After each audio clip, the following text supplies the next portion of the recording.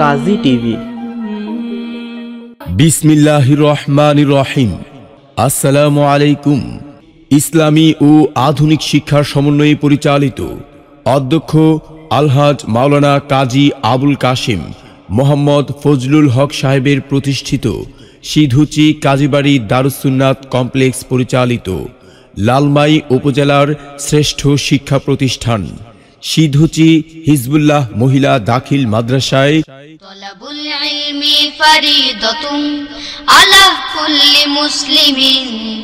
আধার জীবনে যে জ্বালায় বাতি, এলেম হলো ভাই আল্লাহর তাকে খুঁজে নাও যদি থাকে বহুদূর বিসমিল্লাহির রহমানির রহিম। কাছে কিংবা দূরে, দেশে কিংবা বিদেশে যে যেখান হতে অনুষ্ঠানটি দেখছেন, সবাইকে সালাম, আসসালামু আলাইকুম ও রহমতুল্লাহি ওবরাকাতুহ আজ আপনাদের সামনে সিদুসি কাজীবাড়ি দারুসুন্না কমপ্লেক্স সম্পর্কে কিছু বলতে চাই। প্রতিষ্ঠানটি এক এক উনিশশো আটানব্বই ইং সনে অধ্যক্ষ কাজী আবুল কাশেম মোহাম্মদ ফজলুল হক সাহেবের ঐকান্তিক প্রতিষ্ঠায় নারী শিক্ষার অগ্রায়নে প্রতিষ্ঠিত হয়। প্রতিষ্ঠানটি প্রথমে শুরু হয়েছিল সিদুসি হিজবুল্লাহ মহিলা দাখিল মাদ্রাসা নামে। সময়ের পরিক্রমায় প্রতিষ্ঠানটি মসজিদ, মক্তব হাফিজি মাদ্রাসা, এতিমখানা সহ কমপ্লেক্সের পরিধি বিশাল আকার ধারণ করে। চলুন আমরা প্রতিষ্ঠানটির ক্যাম্পাস ঘুরে দেখি। মাদ্রাসা শিক্ষক কর্মচারীর সংখ্যা সতেরো জন। মাদ্রাসায় দুই হাজার একুশ ইং সনের ভর্তি তালিকা অনুযায়ী ছাত্রছাত্রীর সংখ্যা প্রায় ছয় শতাধিক। মাদ্রাসার পূর্ব পাশের যে টিন শেড ঘরটি দেখা যাচ্ছে, তা মূলত মেয়েদের নামাজ ঘর। অদূর ভবিষ্যতে ভবন করার প্রত্যাশা রয়েছে। মাদ্রাসার যে ফেসিলিটিস ভবনটি দেখতে পাচ্ছেন, তা মূলত চারতলা বিশিষ্ট ফাউন্ডেশন ভবনটি দুই হাজার বারো দু ইং অর্থবছরে মাননীয় অর্থমন্ত্রী জনাব আ হ ম মুস্তফা কামাল, লুটাস কামাল মহোদয়ের ঐকান্তিক প্রচেষ্টায় নির্মিত হয়। দুঃখজনক হলেও সত্য এখনও ভবনটির পূর্ণতার মুখ দেখেনি। ভবনটির পূর্ণতার জন্য সংশ্লিষ্ট ব্যক্তিবর্গের দৃষ্টি আকর্ষণ করছি। মাদ্রাসার পশ্চিম পাশে যে ভবনটি দেখতে পাচ্ছেন, এটি চারতলা ফাউন্ডেশনের মাদ্রাসা অফিস কক্ষ ও দক্ষিণ পাশে নবনির্মিত শ্রেণীকক্ষ রয়েছে। মাদ্রাসার বাইরে থেকে যে সুদর্শন গেট দেখতে পাচ্ছেন তা দু হাজার পাঁচ সালে বিশিষ্ট দানবীর জনাব আলহাজ শামসুল হক সাহেবের নিজস্ব অর্থায়নে নির্মিত হয়। মাদ্রাসার উত্তর পাশে যে টিন শেড ঘরটি দেখতে পাচ্ছেন, তা অচিরেই পাঁচতলা ভবনে উন্নীত করা হবে। টিন শেড ভবনের পশ্চিম পাশে যে ভবনটি দেখতে পাচ্ছেন, তা মসজিদ, এতিমখানা, হাফিজিয়া মাদ্রাসা ও শিক্ষকদের থাকার স্থান। সম্মানিত দর্শক শ্রোতা, এতক্ষণ ধরে যে ভিডিওটি দেখলেন, এই প্রতিষ্ঠানের সাথে যাদের নাম সম্পৃক্ত রয়েছে, কয়েকজনের নাম না বললেই নয়, তাদের মধ্যে জনাব মরহুম মকফুর হাজি মমতাজ উদ্দিন সাহেব, যিনি মাদ্রাসার দাতা সদস্য ছিলেন। তার নিজস্ব জমিতে মাদ্রাসাটি প্রতিষ্ঠিত হয়। মাদ্রাসাটির সাথে দীর্ঘদিন ধরে যিনি উতপ্রুতভাবে জড়িত রয়েছেন, মাদ্রাসার বর্তমান সভাপতি জনাব আলহাজ আব্দুল মালেক বিকম, উপজেলা চেয়ারম্যান লালমাই কুমিল্লা। মাদ্রাসার প্রতিষ্ঠাতা অধ্যক্ষ কাজী আবুল কাশেম মোহাম্মদ ফজলুল হক সাহেব ও তার তিন ভাই যথাক্রমে আলহাজ মোহাম্মদ বাচ্চু মিয়া, মোহাম্মদ বিল্লাল হোসেন মোহাম্মদ মিজানুর রহমান ও ছয় বোন সহ তার পরিবারের সকল সদস্যই মাদ্রাসার উন্নয়ন কর্মকাণ্ডে জড়িত রয়েছেন। মাদ্রাসার শুরু থেকে এখন পর্যন্ত যারা মাদ্রাসাকে বিভিন্নভাবে সহযোগিতা করে এসেছেন, নাম অজানা অনেক মানুষ কবর জগতে চলে গিয়েছেন।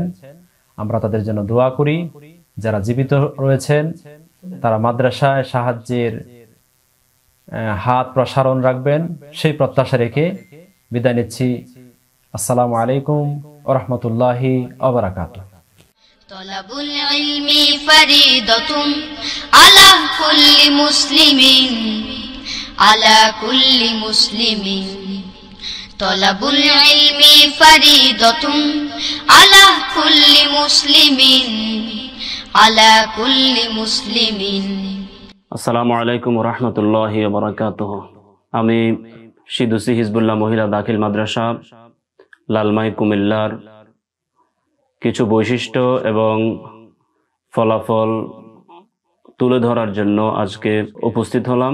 বিশেষ করে আমাদের মাদ্রাসাটি পুরো উপজেলার মধ্যে অন্যতম আলোচিত, প্রশংসনীয় একটি অবস্থানে রয়েছে। আমাদের প্রতিষ্ঠানের সার্বিক দিক বিশেষ করে পড়ালেখা সহ ইসলামী তাহাজিদ, তামাদ্দুন, চর্চাকরণ সবকিছুই আলহামদুলিল্লাহ ভালোই হচ্ছে। ফলাফল বিশেষ করে অন্যান্য প্রতিষ্ঠান থেকে অনেক ভালো। পঞ্চম শ্রেণি ইবতেদায়ী সমাপনী, অষ্টম শ্রেণি দাখিল, দশম শ্রেণির রেজাল্ট। পঞ্চম শ্রেণি এবং অষ্টম শ্রেণির যে রেজাল্ট শুরু হয়েছিল, পরীক্ষা শুরু হয়েছিল সেই দুই হাজার দশ সাল থেকে। সেই দুই হাজার দশ সালের পর থেকে অদ্যাবধি প্রত্যেক বছরই আলহামদুলিল্লাহ ভালোই ফলাফল হচ্ছে পঞ্চম শ্রেণির ফলাফল হলো শতভাগ পাস। আলহামদুলিল্লাহ, এই পর্যন্ত একজনেরও ব্যর্থতার কোনো সংবাদ আমরা পাইনি। দাখিল অষ্টম শ্রেণির যে রেজাল্ট এখানেও এ প্লাস এ গ্রেড সহ শতভাগ পাস রয়েছে। দাখিল দশম শ্রেণির সেন্টার পরীক্ষার রেজাল্টও ভালো, শতভাগ পাস রয়েছে।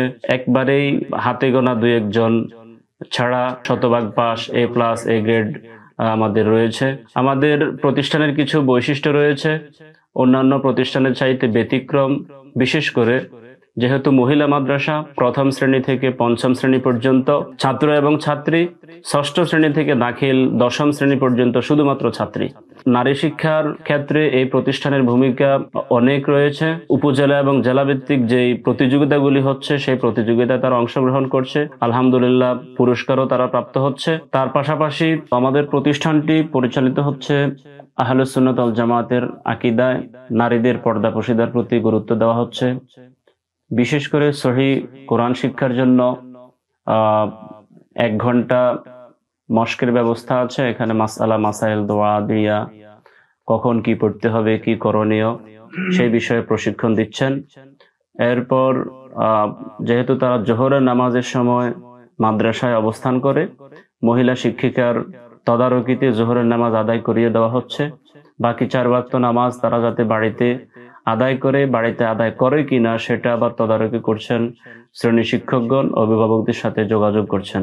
উপস্থিতির জন্য বায়োমেট্রিক হাজিরার ব্যবস্থা রয়েছে। আসার সময় তারা হাজিরা দিচ্ছে প্রস্থানের সময় হাজিরা দিচ্ছে। হাজিরা দেওয়ার সাথে সাথেই তাদের অভিভাবকদের কাছে মেসেজ চলে যাচ্ছে।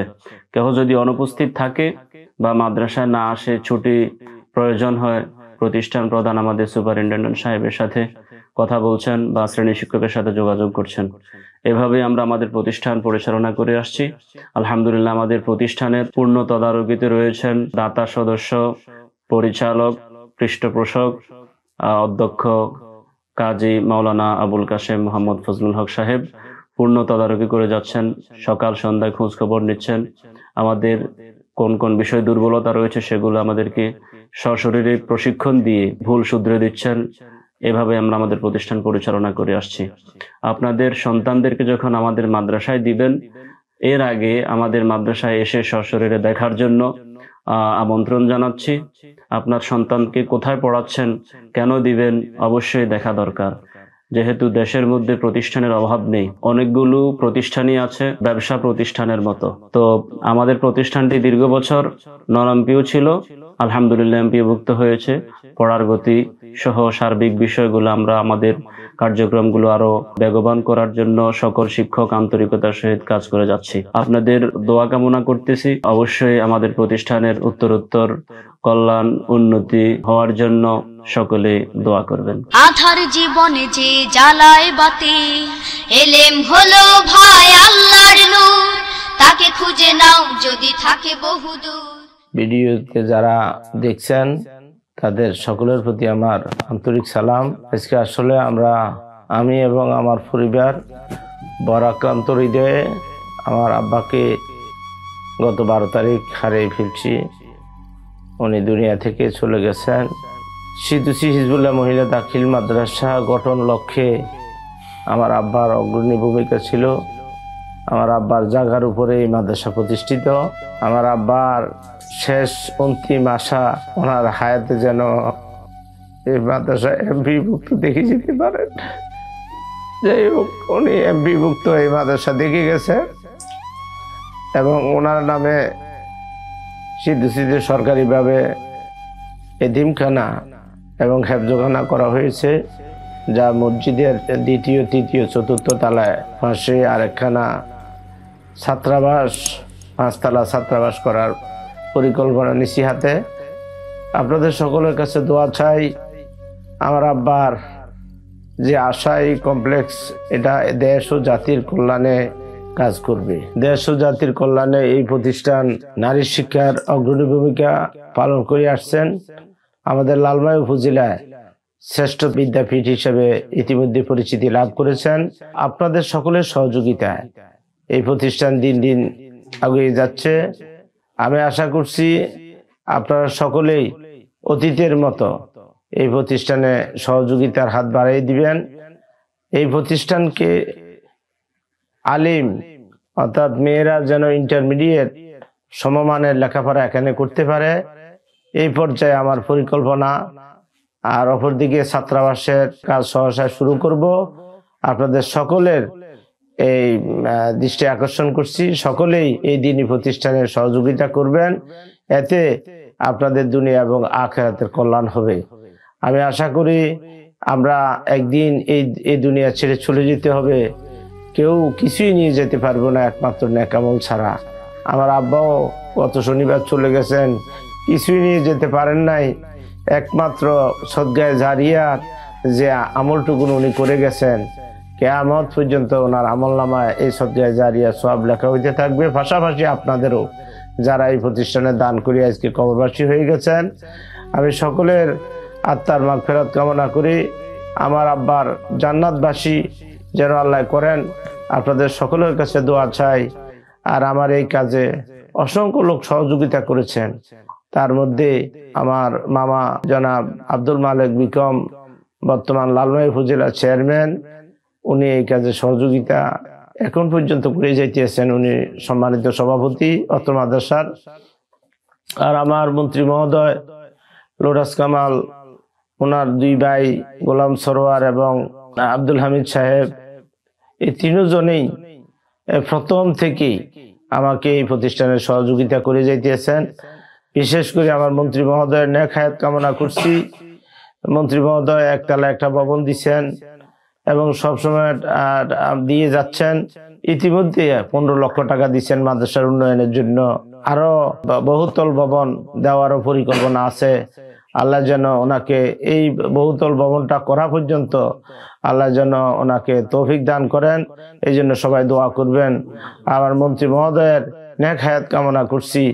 ওনার আব্বা মা যারা দুনিয়াতে নাই, তাদের যেন আল্লাহ জান্নাতবাসী করে। এই কামনা করছি। সকলের প্রতি আমার বিনীত অনুরোধ। এই প্রতিষ্ঠানের প্রতি আপনারা সকলে নজর দিবেন। এই প্রতিষ্ঠানের দৈনন্দিন উন্নতির জন্য সকলে আল্লাহর কাছে প্রার্থনা করবেন। এ বলে আমি আমার বক্তব্য এখানে শেষ করছি। সকলের সর্বাঙ্গীন মঙ্গল কামনা করছি। আসসালামু আলাইকুম রহমতুল্লাহি ওবরাকাত তলাবুল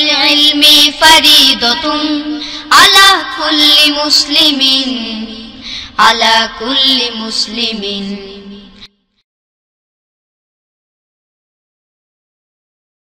তো বন্ধুরা এ ধরনের নিত্য নতুন ভিডিও পেতে আমাদের ইউটিউব চ্যানেলটি সাবস্ক্রাইব করে পাশে থাকা বেল বাটনটি ক্লিক করুন এবং ভিডিও সম্পর্কে আপনার যে কোনো মতামত কমেন্ট করে জানিয়ে দিন আমাদেরকে ধন্যবাদ সবাইকে